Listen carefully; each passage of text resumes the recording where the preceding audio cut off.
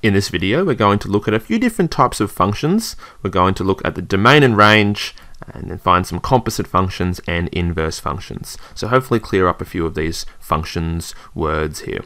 So firstly, I've written three functions up, and I'm just going to have a look at the first one. There are a few different ways we can write uh, what a function uh, is or what it looks like. And I've written here fx is equal to x squared minus 2 and fx just pretty much means the output variable, or the output if we have a input variable of x. So another way we can write this is if I put f and then a little colon here as x with a little arrow. This could be x squared minus 2. So this is another way of writing fx, or we could just put y equals x squared minus 2. So all of these mean the same thing. Depends on what type of textbook you see, but you can use any of these expressions. Okay, so let's have a look at our three functions here. What we're first going to do is we're going to find uh, the output if we give the input some numbers. So I'm just going to go through a bunch of examples with our three functions here. So firstly, if you ever see f of a number, for example f of 3, you need to go find the function that was f, which was this one here, x squared minus 2, and what we want to do is we want to sub in the number 3 in for x. So 3 is our input variable.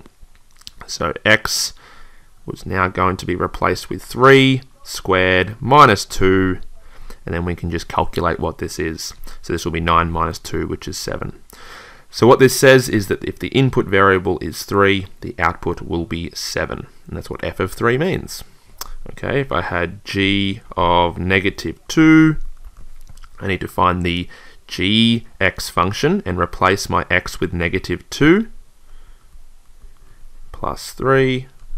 So if I input negative 2 for x into my gx function, my output is positive 1 because negative 2 plus 3 is 1. And finally, if I had h of, let's say, 24, we need to find the hx function.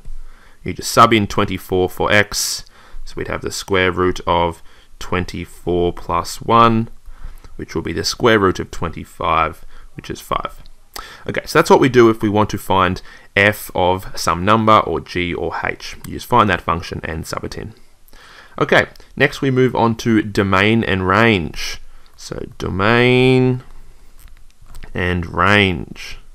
Now these are two words which are very important for functions and relations.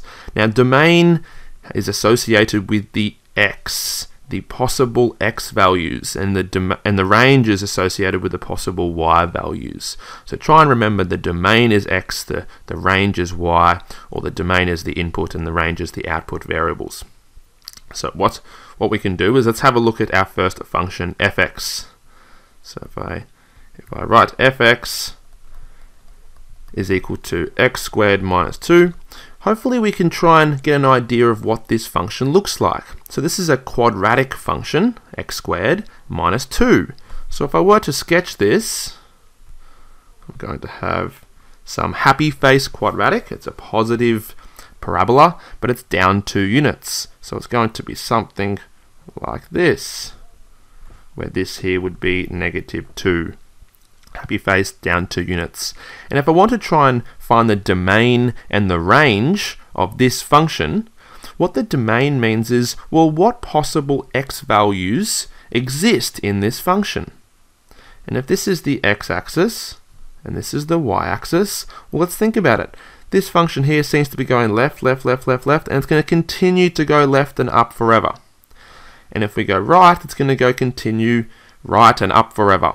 So the domain here is actually going to be all x values. So for this, for this function, the domain will be all x values, and we can write that by saying x is an element of, I might write that element of symbol again, of all real uh, numbers. So if you ever have a function that seems to go left and right forever, and there's no tricky bits like asymptotes or anything like that, it's going to be all real numbers. Now the range, what are the possible y values? Well, it looks to be going up forever and up forever, but it doesn't go down forever here. It seems to go down all the way to negative 2 and then it comes back up. So the range the range is going to be the possible y values, and those y values will be everything above negative 2, but it will equal negative 2. So what we can say is y is greater than and equal to negative 2. All of the y values greater, than, greater and equal to negative 2 exist for this function. Okay, if I were to do gx, which is x plus 3, we have a different function now. x plus 3 is a is a straight line which passes up at 3, so it would be here. And this one's a bit of a simple one. If you have a linear, a line here, straight line, it clearly goes left forever and right forever, and down forever and up forever. So the domain, which you can shorten to just capital D, x will be an element of all real, and the range will be y is an element of all real because it goes left and right forever so that's the domain and up and down forever okay and the last function if I have hx which is the square root of x plus 1. This is an interesting function, this one here, and if you do have a calculator, I encourage you to try and sketch what this looks like and type it in. But what it's going to be is it's going to be a function that looks like this. Has a very interesting shape this one. I'll get rid of these dots here.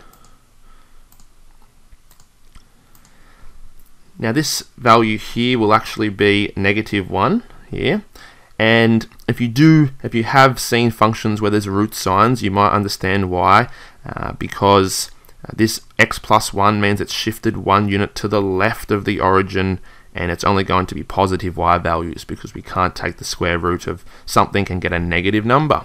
So from here, our domain is clearly going to be all of the x values to the right of negative 1 because it doesn't exist to the left of negative 1. So x will be greater than or equal to negative 1. And the range, well, the range is the y values. It's going to start here at when y is 0 on the x-axis, and it's going to go up. Even though this looks to be plateauing out, it will continue to gradually go up forever. So the range here will be y is greater than or equal to 0.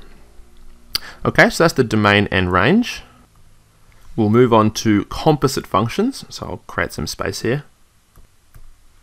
So a composite function, composite function, you may have seen these types of questions before in your textbook. It's when they ask you to find fog or goff or you might get different letters here, but fog and goff are the most famous composite functions. And what this is, is a function of a function. So if you want to find fog, f of g of x, what we need to do is we need to try and actually sub in a function into another function. And it's related to the fx, gx, and hx functions here. So fog, what this would be is you start with the first letter, the f function, fx, and we start writing it. And when we get to the x, we stop. And instead of writing x, we actually want to replace x with the gx function. So gx is x plus 3. So we're going to replace this x plus 3 into where x is. So fog will be x plus 3 all squared. That's what this is. And then we have our minus 2. And you can expand this if you want to and collect your like terms, or you can leave it in this form here. Now, if we had g of fx, which is goff, we need to actually start with the g function, which would be x plus 3. We'd stop when we get to the x, and we'd replace this x with the f of x function. And the f of x function is x squared minus 2. So we'd have x squared minus 2, that was the x, and then we'd have plus 3, and then we can collect our like terms. It'd be x squared minus 2 plus 3, so plus 1. Okay, so that's how we do composite functions. We want to sub a function into a function. And finally, if we want to find an inverse of a function, I'll do a few examples. The inverse of fx, that's going to be written as find the inverse of fx. It's this f, it's this little negative 1 at the top here. So how we do this is we want to first write our function in the form of y equals, and then we put our function, x squared minus 2. If we want to find the inverse, the first step is to swap x and y. if we swap x and y, we're going to get x equals y squared minus 2. And then the goal after we've swapped x and y is to try and use algebra to get y to be the subject. So if we add the 2 over, x plus 2 is equal to y squared. And then if we square root both sides, we're going to get x plus 2 inside the square root sign is equal to y. And once we have got y by itself, this is actually our inverse function. So therefore, our inverse function is the square root of x plus 2. I'll do one more. If I want to find the inverse of hx, this one here, we start with y equals, and we put x plus 1. Then we want to swap x and y. That's always the first step. So x equals the square root of y plus 1. And then to get y by itself, I'm going to square both sides. So x squared is equal to y plus 1. I can get the y by itself by subtracting the 1 over. So x squared minus 1 is equal to y. And now that we have y by itself, that will be our inverse of hx.